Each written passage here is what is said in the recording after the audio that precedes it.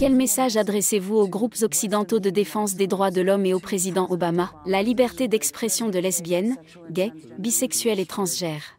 Respectez les sociétés africaines et leurs valeurs. Si vous n'êtes pas d'accord, gardez simplement calme, laisse-nous gérer notre société, là nous verrons si nous nous trompons. Nous le découvrirons par nous-mêmes.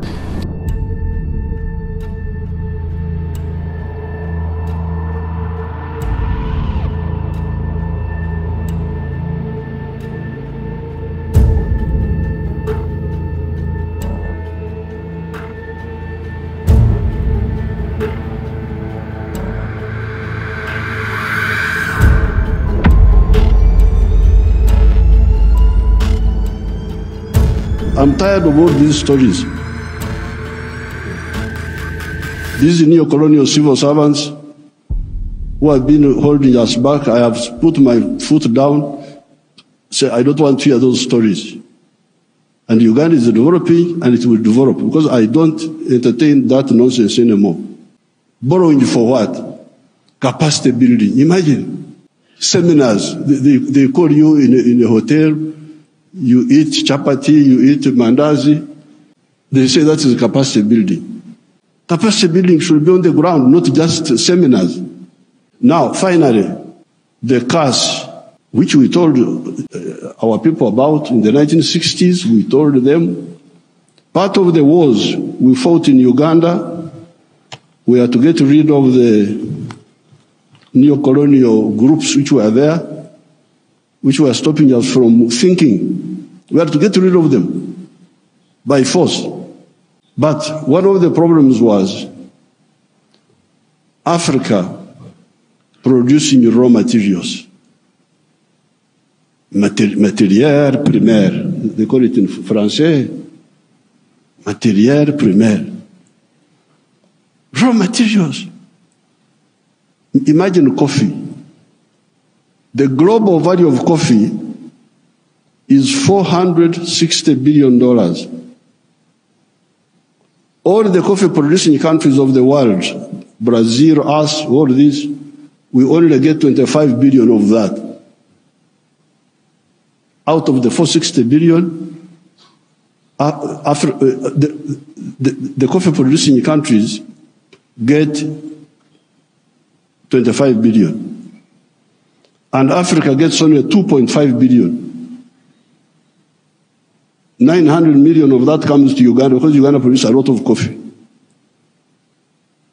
A country like, like uh, Germany, which has no coffee, earns $65 billion from coffee. So, this, this, I sell a kilo of coffee good, grade coffee, $2.5. Somebody in London will get $241 from that one kilo. Eh. Okay, there are, there are other costs on the way. I don't want, I don't want to, because he has, he's, he's the owner of a restaurant and so on. But coffee roasting, coffee roasting, coffee grinding, coffee packing must happen here in Africa, must happen at source. The shirt I'm putting on is Ugandan cotton. I don't put on foreign clothes. It's only the trousers I'm putting on because I can't go naked. Because they have not solved that problem for me. So, if you look at, at, at cotton, how many job levels are there? Job levels. You grow the cotton. Okay, that one, that one we do. Those, those jobs we do. We gene, gene the cotton. Kutoa mbegu, remove, remove the seeds. That one we do here. And we end there. When you hear all these countries which have got crisis, Burkina Faso, I don't know what, Mali, all of them are cotton growing countries. But how much textiles are they producing? They're importing textiles, I don't know from where. So now, if you end at level two, ginning, removing the seeds. Then you take the pamba, you take the cotton. To cleverer people, people who are clever. Watu wenye akili wako huko. Sisi hapo tutajiita vipi? Kama mtu anakuzidi akili, wewe unasema wewe nani? So they take the, the cotton, they spin, spinning more money, more jobs for their children. They weave more money, more jobs for their children. They put the, the print, more money, more jobs for their children. The, I, I, I looked at uh, the figures. Uganda consumes 276 million meters of textiles each year. And that wonderful country of yours spends 880 million dollars on, on clothes. Some of them dead people's clothes from Europe. When people die, the, their clothes they are sent to, to you people, to Africa. And we spend 800, all the money we earn from coffee goes back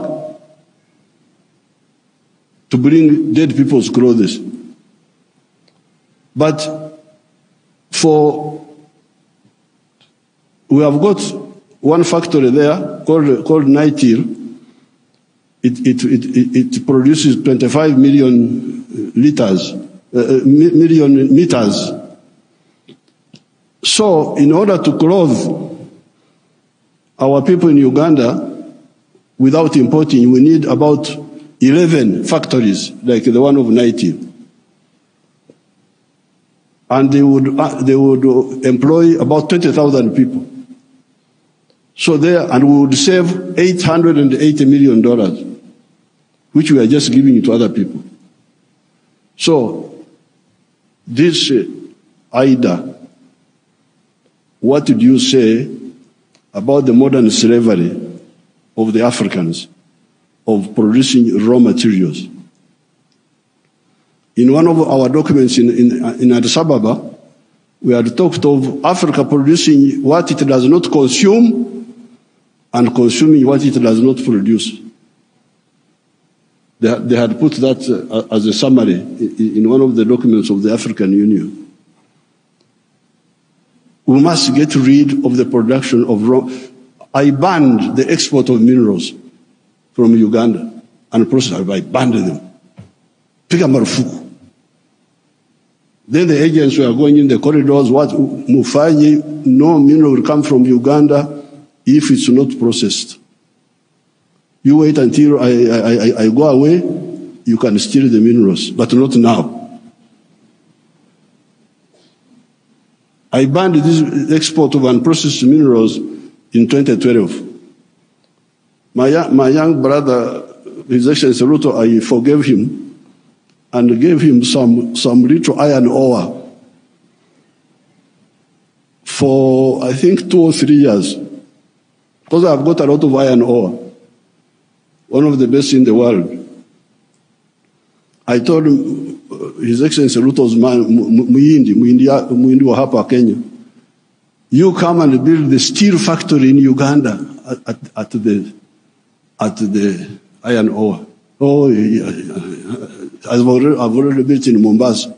So I said, okay, because of my young friend, I give you some iron ore for two, I think two or three years. But come and put the factory here. Now you can imagine akili ya, ya watu wenu, my civil servants. An Indian wanted to take that iron ore to India, imagine. Iron ore in, in, in our language is called obtare, but it is, it is uh, soil, soil. Black soil, if you see it, it is soil. To take that to India and do what?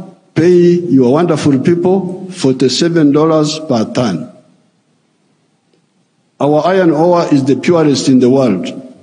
It is 70% pure. So you need like one and a half tons to make a ton of steel. Now, a ton of steel costs $700.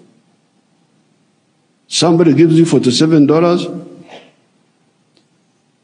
on your, on your, on your wealth, the wealth of, of, of, your people, and he gets $700 from it. And all the jobs, your children have no, have no jobs, watoto wa wahindi wanafanya wamepata kazi.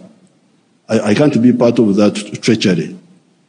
So I banned, there will be no export of unprocessed minerals from Uganda. So there's no business. What do you mean there's no business? So when I banned them, they are flocking in now. They have opened seven gold refineries. Seven gold refineries. They are there. Because I banned.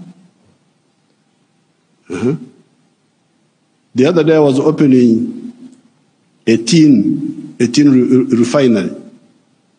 You can imagine this tin, uh, and uh, that uh, Suluhu Samia may know where we were, the power station, both sides, the Uganda side and the Tanzanian side. That is all tin, tin.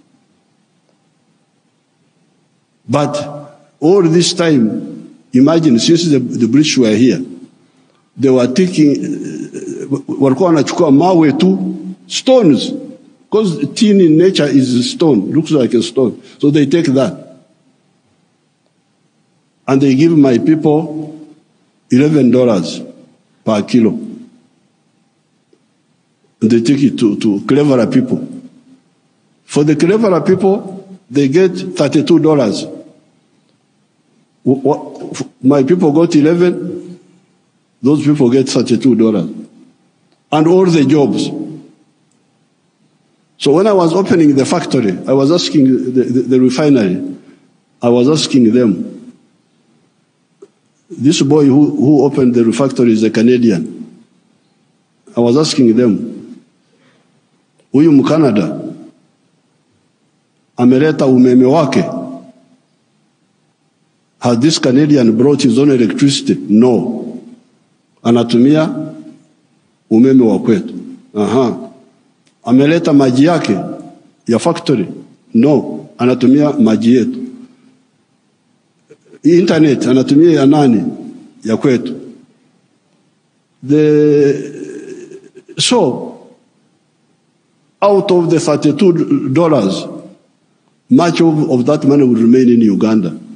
Pay for the raw material, pay for the electricity, pay for the water, all that remains in Uganda. So, what does, first of all, my African brothers and sisters say about this hemorrhage of Africa? Hemorrhage. Echikurukuto, we call it in Uganda. This hemorrhage must stop. The crisis you see in these countries is because of stag- stagnation of the last 60 years since independence. The population is increasing, the economies are not increasing. What do you expect? So, with these few words, Your Excellencies, what do I say? Merci beaucoup.